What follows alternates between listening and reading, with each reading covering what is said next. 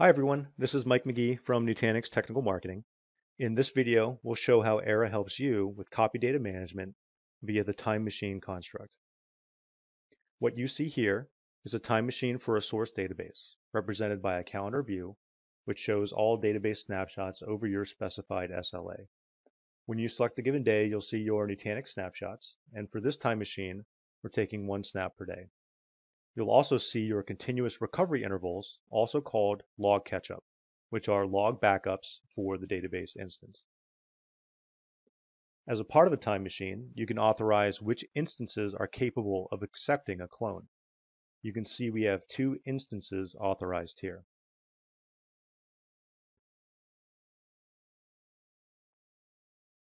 I've already created two clones from this time machine across these two instances. In the bottom right, you can see a row count from our source and our two copies, test and dev. I'll go ahead and kick off a workload so you can see changes to our source copy.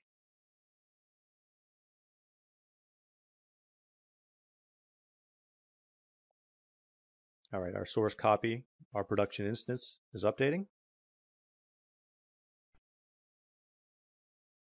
And what we'll do now is take a snapshot of our source.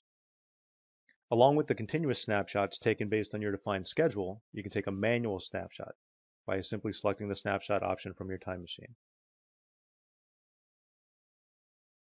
As a part of this create snapshot job, which we can monitor on the operations page, Era is going to map out the database and the source and call any application specific APIs.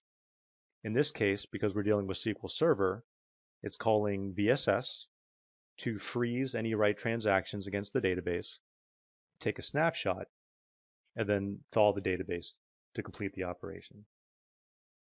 You can see how quickly the freeze and thaw were performed, which led to minimal impact on the workload. So now we have a point in time snapshot based on the most recent state of our source database. Now with Era, you can recover any point in time snapshot or recover a specific point in time thanks to the log captures which occur. If we go to the databases section of Era, we can view our clone databases. Here's our test and development instance that you see below. I can simply select one of these instances, for example, development, and click refresh. Except in this case, I'm going to refresh that development copy not through the Era UI, but instead through the Era API. I have a simple script which calls the Era REST API to recover the dev instance based on the latest snapshot. I'll go ahead and kick off that script.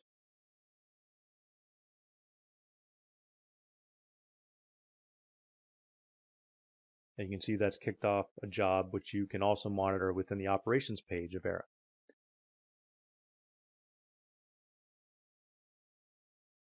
Now calling the Era API is very straightforward. Here I'm using PowerShell with the invoke-rest method PowerShell command.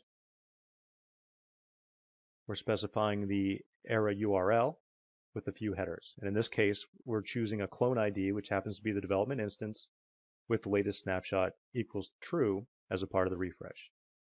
We can further monitor the result of the job ID and watch the job to completion.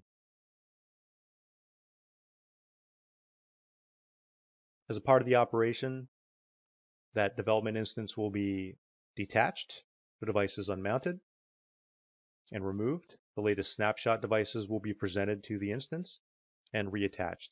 And you can see how quickly that occurs. And now our development instance is to the most recent point in time based on that snapshot that we just performed.